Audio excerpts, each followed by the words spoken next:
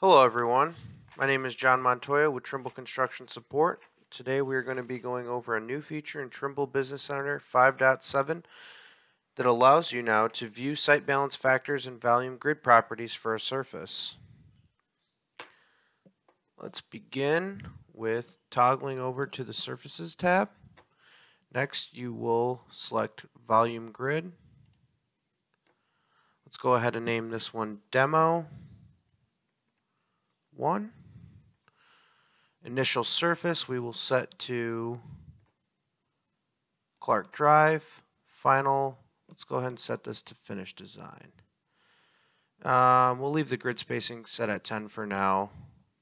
Once you've filled that out, you're going to go ahead and select Apply. You'll now see that it gives you results. Um, basically, it's going to give you the name, the cut volume, the cut area, the fill volume, fill area, and the net volume. So now if we go over here and select that, we'll now see, once it's selected, in the properties pane, it'll give you the approximate balance amount, which is the vertical distance to move either the existing or design surface to balance the cut fill volumes. And it will also give you now the approximate Volume de delta per tenth unit. This is the volumetric change in either surface. If either surface is raised or lowered a tenth of the project distance unit. All right, let's go ahead and offset this surface. So we will use the finished design as our reference surface. We will now create a new surface and we will offset it that 56 hundredths to balance the site. Go ahead and select OK.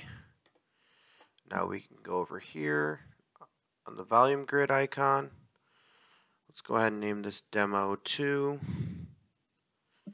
So the initial will be Clark Drive and the final will be demo. Uh, we'll leave the grid spacing at 10. Go ahead and select apply. And now we can toggle this one off. And we will go ahead and toggle on demo 2. And as you can see now, the site is now balanced. So that concludes today's demonstration on TBC 5.7's new feature of adding cut fill balance info to a surface volume grid and actually balancing that site. Thank you.